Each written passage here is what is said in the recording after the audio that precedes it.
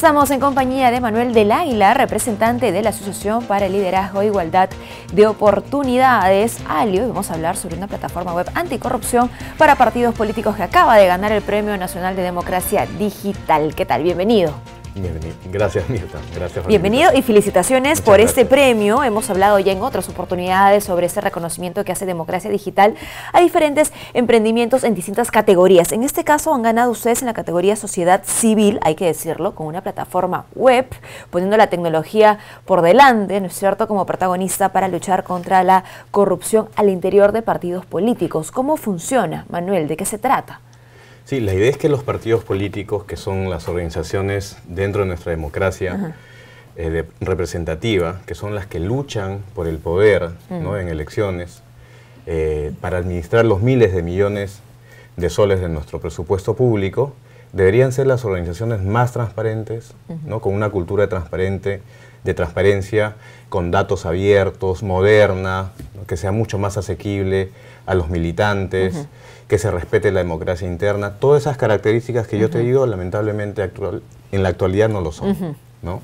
Más bien hay una desconfianza ante los partidos políticos, el desprestigio que tienen los partidos políticos actuales con todas las, eh, las denuncias que hay, los procesos que tienen los dirigentes partidarios. Yo creo que vimos en, en todo ese proceso ya desde hace algunos años la necesidad de poder transparentar las organizaciones políticas. O sea, el Estado está haciendo un esfuerzo, tímido todavía, por tener una plataforma digital única, mm. con gobierno digital, o sea, bajo, esa perspectiva. Las empresas también. Mm. Las organizaciones políticas son las que menos eh, Están haciendo uso. Exacto. ¿no? Entonces yo creo que ha llegado el momento de que los partidos, las organizaciones políticas en general, tengan eh, sus organizaciones políticas abiertas a los jóvenes, abiertas a los ciudadanos, a sus militantes, que no se crea que las organizaciones políticas son algo oscuro que se maneja entre cuatro o cinco personas. Entonces, la tecnología ayuda mucho eso como un mecanismo importante. Y es un momento además eh, ideal, idóneo, hay que decir, para que las organizaciones políticas puedan utilizar ese tipo de herramientas porque los ajustes, las reformas en la normativa electoral ahora también así lo van a exigir. ¿Y de qué me refiero? Me refiero, por ejemplo, pues a eh, la necesidad de tener más militantes, por ejemplo, ¿no? Y que justamente las organizaciones políticas sean más vivas, como decías tú, y que tengan este tipo de mecanismos que los conecten, que los comuniquen y que ayuden a vivir esta vida parlamentaria, ¿no? O partidaria, perdón. Claro, y bueno, eh, lamentablemente la ley no se va a aplicar ahora en esas elecciones. No inmediatamente. ¿no? Sin embargo, yo creo que es un avance todavía pendiente de un tema de reforma política. Y hay algo importante, en la ley actual que se acaba de aprobar este año y lo ha publicado el Ejecutivo, en el artículo 7 de la nueva ley de organizaciones políticas señala el uso de mecanismos digitales mm. y, y, analógicos para la elaboración del padrón de afiliados, ¿no? con el apoyo de RENIEC. Ah, sí, sí. Y en ese sentido yo quiero felicitar al Jurado Nacional de Elecciones porque eh, abrió el, el, reglamento en borrador a la sociedad civil y nosotros pudimos leerlo y nos dimos cuenta de que había la necesidad de reglamentar también el uso de esos mecanismos y presentamos una iniciativa para que se reglamente el uso de estos mecanismos. Nosotros, además del Kipu Data, que es esta plataforma grande para organizar y administrar partidos políticos de manera transparente, también tenemos una, un aplicativo eh, que funciona con un smartphone para poder elaborar padrones eh, digitales. Con, tenemos convenio con RENIEC Ah, que es el, planillón, electrónico, ¿no? Así le han llamado. Ese planillón electrónico ayuda muchísimo a la elaboración del padrón de afiliados. ¿no? ¿Por qué? Porque permite recolectar las adhesiones de los militantes en línea, ¿no? Y como tenemos convenio con RENIEC, solo pones la huella y de esa manera se facilita en 15 segundos y impide la suplantación y las firmas falsas. Bueno, y se gana muchísimo tiempo, además. Y es mucho más barato. menos carga procesal, es más barato. Ahora, em, este triunfo, esta distinción que te hace Democracia Digital no es en base a ideas, esto ya está funcionando. Hay en la actualidad organizaciones políticas que ya estén haciendo uso de estas herramientas, tanto de la plataforma, no sé si del planillón. Lamentablemente no. Mm. Eh, sí, varias organizaciones políticas se han interesado eh, en el uso de esta plataforma, porque les parece importante transparentar su organización, sus datos. Tiene varios módulos. Tiene un módulo de videoconferencias, la plataforma eh, funciona a las 24 horas, no importa dónde estés, ya no hay ese, a veces, no, no, quiero ir al local porque es mucho tiempo, las mm. excusas. no, esto funciona de manera permanente en, línea. Hay módulos también para las actas, hay módulos también, una de las más importantes es el módulo de donaciones, porque te permite saber quiénes financian el partido y de qué manera usan ese dinero dentro de su organización política. Extraordinario. Estamos viendo en la pantalla un poco el, de fondo cómo funciona esta plataforma y está justamente la parte de donaciones. Es además, imaginamos, una plataforma de uso amigable, accesible. Sí, es muy sencillo, se tiene que registrar, ¿no? un usuario, una contraseña y el personero legal del partido podría usar su firma digital y, no usar papel. O sea, además es ecoamigable, ¿no? Y cuando dices que esto sería pues para toda la población, estamos hablando de eh, militantes que ingresen con una con un usuario, con una clave o cualquiera, digamos, podría tener acceso claro, a hay niveles de, participación. ¿no? Por ejemplo, una cosa es ser militante, otra cosa es ser simpatizante o cualquier o tener un cargo directivo. Sí, otra cosa es ser dirigente. Entonces, o un ciudadano que quiera ver qué hace un determinado partido en un comité de provincia o distrital o nacional, puede, puede verlo en línea. Muy bien. Hay que decir además que esta asociación, Asociación para el Liderazgo y la Igualdad de Oportunidades, si bien ha tenido esa distinción en el 2019, han empezado ustedes a trabajar desde 2013. Sí, desde el 2013 venimos trabajando. Primero fue esta, el aplicativo del planeo electrónico.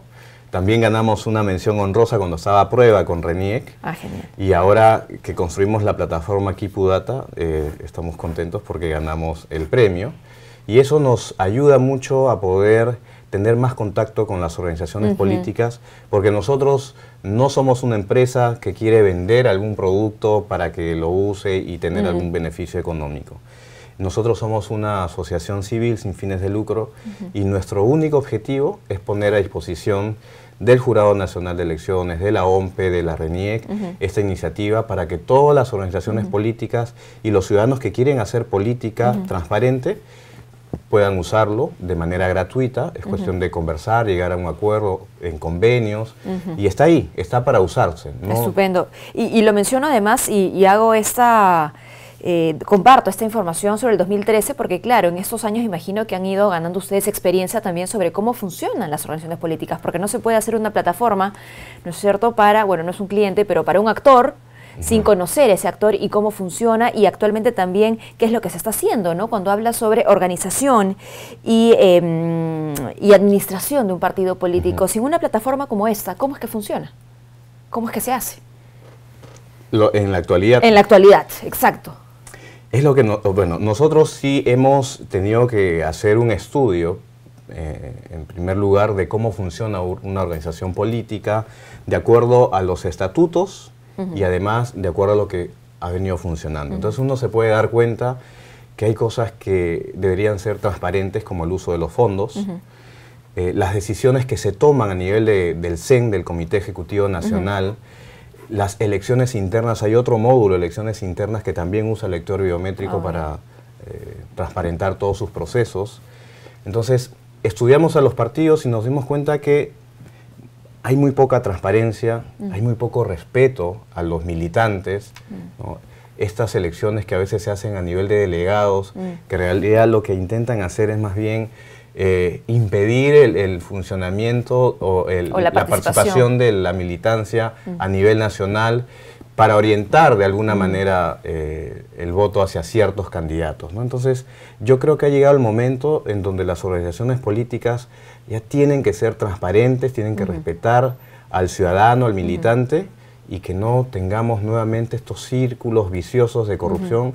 Mira, hace casi 20 años pasó lo de los Vladivideos, ahora vino el tema del abajato, y los principales actores en todos estos procesos son los partidos políticos involucrados en estas acusaciones vergonzosas. Yo creo que el ciudadano ya se cansó y ahora los millennials, que son los jóvenes que dentro de poco son los que nos van a gobernar, eh, tienen que estar también adecuando sus ideas a la tecnología, a los avances tecnológicos, y esta es una gran oportunidad también de participar. Bueno, sin duda hay una necesidad de reforma al interior de los partidos políticos que no necesariamente tiene que responder a los cambios de la normativa. Van a venir esos cambios, claro que sí, pero tiene que haber en principio voluntad de cambio, de mejora, de llegar al ciudadano. Em, algo que no hemos mencionado es la continuidad también que ofrece esta, que ofrece esta plataforma, ¿no? Porque a diferencia de un local eh, de campaña, digamos, ahora que vienen elecciones, eh, eso está al alcance todo el tiempo, digamos, no es que cierra y abre. Y no importa eh, dónde estés, en qué país, en qué ciudad, o sea, por ejemplo, los ciudadanos, los peruanos en el extranjero también podrían participar. Tener acceso. No importa la hora, son las 24 horas. En verdad tienes un partido vivo.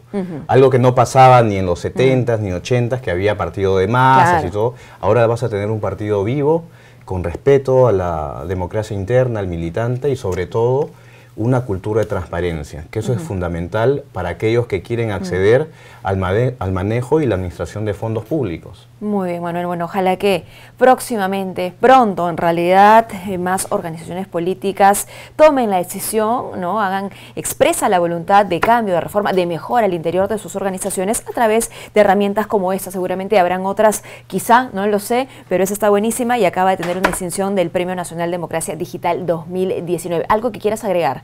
Sí, que nos pueden encontrar eh, como alioperú.org, esa es nuestra página web o también en nuestras redes, como Manuel del Águila, para cual, todos los partidos están invitados a usar esta plataforma, a transparentar sus procesos y a darle una esperanza a los ciudadanos después de todo esto, eh, esta vergüenza nacional sobre los problemas de corrupción. Yo creo que es importante decirle, no todo está terminado, no todo va a ser corrupción. Hay posibilidades de usar nuevos mecanismos para hacer más transparente la política y por lo tanto tener mejor representación nacional. Muy bien, la lucha anticorrupción tiene que ser práctica, no solo teórica, no hay que decirlo, ¿no es cierto? Hay que hacer. Muchísimas gracias, gracias por habernos acompañado. Hemos conversado con Manuel del Águila, representante de la Asociación para el Liderazgo de Igualdad de Oportunidades.